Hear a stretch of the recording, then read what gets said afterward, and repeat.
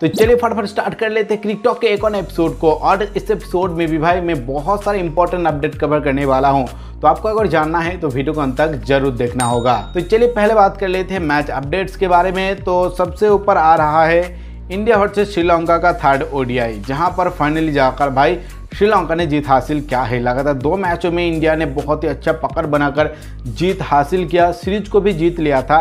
तीन ओडीआई मैचों का सीरीज़ था और अंत में जाकर एक मैच सिर्फ़ श्रीलंका ने जीता है। बाकी दो मैच इंडिया ऑलरेडी जीत चुका है और इंडिया ने सीरीज़ को जीत लिया है। लेकिन आखिरकार श्रीलंका ने तो भाई एक मैच में तो जीता। श्रीलंका ने लास्ट मैच पे तीन विकेट से जीता है। तो आखिरी जो मैच हुआ, वहाँ पर 225 रन बनाया था इंडिया और उसके जवाब में दो सौ सत्ताईस रन बना दिया है श्रीलंका ने। सात विकेट खोकर 225 रन बनाकर इंडिया ऑल विकेट हो गया था। इंडिया की तरफ़ से पृथ्वी सौ ने उनचास लगाया था।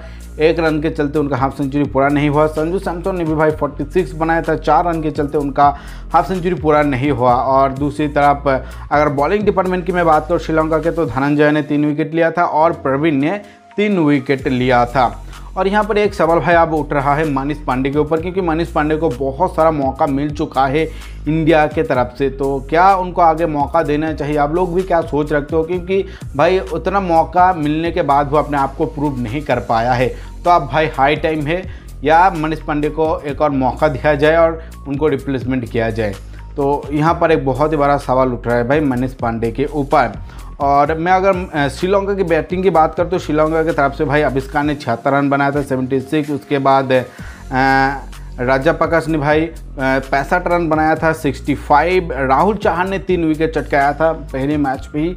और चेतन, भाई चेतन ने भी दो विकेट चटका दिया था। तो जितना भी खिलाड़ी का भाई डेब्यू हुआ था उनमें से राहुल चौहान और चेतन ने बहुत ही ज़्यादा प्रभावशाली साबित हुआ। खास करके भाई संजू सैमसन ने भी भाई अपना छाप छोड़ा इस मैच पे। तो इंडिया की तरफ़ से अगर देखा जाए तो अच्छा खासा परफॉर्मेंस उनके तरफ़ से भी था, लेकिन भाई श्रीलंका ने बेटर परफॉर्मेंस किया इस मैच पर और उन्होंने जीत हासिल किया तीन विकेट से। और इसके बाद चले हम बात कर लेते हैं जिम्बाब्वे वर्सेस बांग्लादेश टी के बारे में, जो कि सेकंड टी था और जिम्बाब्वे ने भाई एक शानदार जीत हासिल किया है बांग्लादेश के विरुद्ध। तेईस रन से जिम्बाब्वे ने टोटल 166 बनाया था छः विकेट इनका गिरा था। और दूसरी तरफ़ बांग्लादेश 143 बनाया था और वर्ल्ड विकेट हो गया था। और यहाँ पर एक ज़बरदस्त जीत भाई मिल चुका है। जिम्बाब्वे को सीरीज़ अभी भाई दो दो पर एक एक पर बराबरी हो चुका है। लास्ट जो मैच होने वाला है, वहाँ पर एकदम डिसाइड किया जाएगा कि कौन है विनर इस सीरीज़ का टी वाला सीरीज़ का। और इसके बाद चलिए हम बात कर लेते हैं कि नेक्स्ट कौन कौन सा मैच आने वाला है। तो 24 जुलाई आज रात साढ़े आठ बजे आयरलैंड के साथ साउथ अफ्रीका का थर्ड टी होने वाला है। नेक्स्ट इसके बाद भाई बांग्लादेश वर्सेज जिम्बाब्वे का थर्ड टी ट्वेंटी होने वाला है 25 जुलाई को, यानी कि कल। और नेक्स्ट अपडेट बहुत इंपॉर्टेंट अपडेट है वेस्ट इंडीज वर्सेस ऑस्ट्रेलिया का जो सेकेंड ओडीआई कैंसिल हो गया था भाई, उसको रिशेड्यूल कर दिया गया है। तो सेकेंड ओडीआई अब 25 जुलाई को होने वाला है, जहाँ पर भाई थर्ड ओडीआई होना था 25 जुलाई को, अब रिशेड्यूल हो चुका है। थर्ड ओडीआई होने वाला है 27 जुलाई को, इस तरीके का चेंज आ चुका है। मैंने आपको बताया था कि कोरोना वायरस के चलते भाई वेस्ट इंडीज़ वर्सेज ऑस्ट्रेलिया का सेकेंड ओडीआई सस्पेंड हो गया था, एकदम शुरुआती मोमेंट पर जाकर, और अब वो रिशेड्यूल हो चुका है। और इसके चलते भाई बांग्लादेश और ऑस्ट्रेलिया के जो पाँच टी ट्वेंटी होने वाला तो वहाँ पर भी थोड़ा बहुत चेंजेस आ चुका है। आप लोग यहाँ पर चेक कर सकते हो कि किस तरीके का अब न्यू शेड्यूल आया है।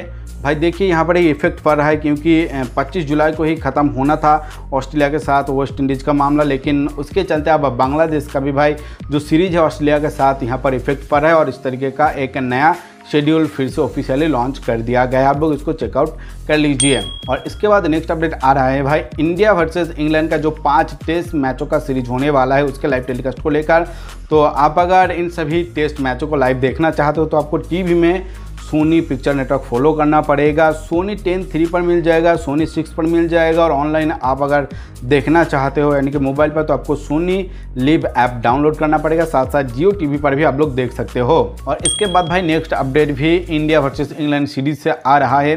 जैसे कि मैंने आपको कल ही बताया था कि कुछ खिलाड़ी श्रीलंका से डायरेक्ट इंग्लैंड जाने वाला है और भाई हाँ यहाँ पर तीन खिलाड़ी का नाम आप सामने आ रहा है, क्योंकि देखिए भाई, कुछ खिलाड़ी इंजर्ड है, जिसके चलते रिप्लेसमेंट का ज़रूरत पड़ेगा इंग्लैंड में और इंग्लैंड में जितना भी भाई अभी स्टाफ मौजूद थे, उन्होंने मांग किया है कि कुछ खिलाड़ी को यहाँ पर भेज दिया जाए ताकि अगर कोई खिलाड़ी इंजर्ड हो जाता है बाई चांस तो फटाफट हमें रिप्लेसमेंट मिल जाए। और उसके ही चलते भाई, पहला खिलाड़ी पृथ्वी सौ को चूज़ किया गया है। सूर्या कुमार यादव भी भाई जा रहा है और जयंत यादव इन तीन खिलाड़ी का नाम आया है जो कि अब श्रीलंका से डायरेक्ट इंग्लैंड जाने वाला है और वहाँ पर जाकर वो टीम से जुड़ जाएगा। तो भाई, आज इतना ही अपडेट निकल के आया है। ज़्यादा कुछ नहीं था इंपॉर्टेंट इसलिए मैंने कवर नहीं किया है। आपको बहुत बहुत शुक्रिया टाइम निकाल के इस वीडियो को देखने के लिए। अगर आपको वीडियो अच्छा लगे तो लाइक ज़रूर कर दीजिए। अपने दोस्तों से वीडियो को ज़्यादा से ज़्यादा शेयर कर दीजिए ताकि उनको भी तरह इंपॉर्टेंट चीज़ों के बारे में पता चले। और आपने अपने चैनल को सब्सक्राइब नहीं किया तो चैनल को सब्सक्राइब करने के बाद ऑल नोटिफिकेशन ऑन कर दीजिए ताकि आपको फटाफट नोटिफिकेशन मिल जाए जब भी मैं वीडियो अपलोड करूँ।